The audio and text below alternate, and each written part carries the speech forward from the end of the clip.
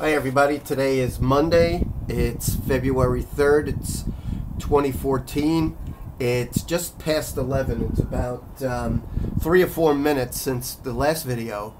Uh, and um, checking out the sky and it's it's actually turning white as I'm making this uh, film as I was uh, making a quick phone call. And want you to check this out. I know it looks blue, but you could see this milky scuzz into the sky. And these are the chemtrails. These are not real clouds. And I want you to look way in the back, into the distance. Okay? And I want you to look here. You could see the tiger striping. Tiger striping is when they put these particles in the air, they're hitting the atmosphere with electricity.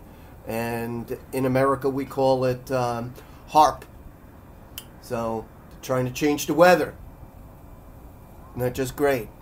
So, I'm going to try and uh, drink a cup of coffee and then I'll take a look at this uh, sky because in that, that time I made the um, last video, I predicted that within three, uh, 20 minutes or so, uh, the sky would be like this, and it's amazing. So, everybody's got to document this stuff. Have a good day.